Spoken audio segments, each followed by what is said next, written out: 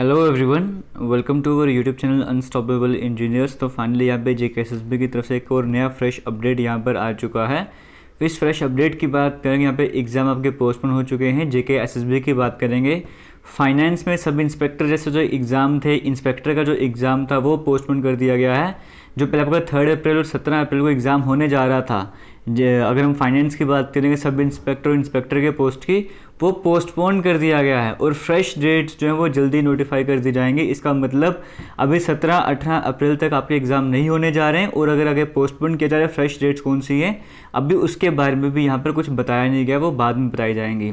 तो यहाँ पर बड़ा अपडेट निकल कर सामने आ रहा है कि एस का एग्ज़ाम यहाँ पर पोस्टपोन हो चुका है। अब यहाँ पर बात ये बनती है कि जो बाकी बच्चे हम काफ़ी टाइम से इसके बारे में पूछ रहे हैं।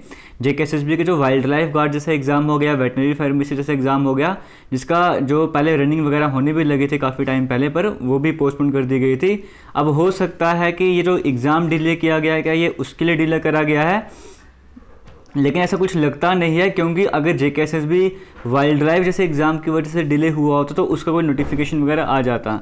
बट उसका भी कोई अपडेट नहीं है बट एटलीस्ट अगर ये रीज़न कुछ और है तो इसका मतलब कि जे भी वाइल्ड लाइफ गार्ड जैसे एग्ज़ाम की बात करेंगे, वो और आगे चले जाएँगे। क्योंकि जो एग्ज़ाम टेंटेटिव कैलेंडर आया था, उस कैलेंडर में तो यही कहा गया था कि जो सब इंस्पेक्टर का एग्ज़ाम है या फिर ये वाले एग्ज़ाम की बात करो फाइनेंस डिपार्टमेंट के, वो इस टाइम पीरियड पर होने वाले हैं। अगर यही आगे पोस्टपोन हो गए और अगर प्रायोरिटी इनको ही देनी है तो वाइल्ड लाइफ गार्ड से एग्ज़ाम क्या पता कहाँ चले जाएँगे। तो हम ये रिक्वेस्ट करना चाहेंगे एटलीस्ट इतने सारे नोटिफिकेशंस आ रहे हैं, एक wildlife guard stock assistant veterinary pharmacist इस तरह के स्टूडेंट्स के लिए भी एटलीस्ट एक नोटिफिकेशन छोटा सा, जिस तरह से ये नोटिफिकेशन आया, उसी तरह से उनके लिए भी नोटिफिकेशन आ जाए, ताकि उनको भी पता लगे उनका एग्ज़ाम होना भी है या नहीं होना है।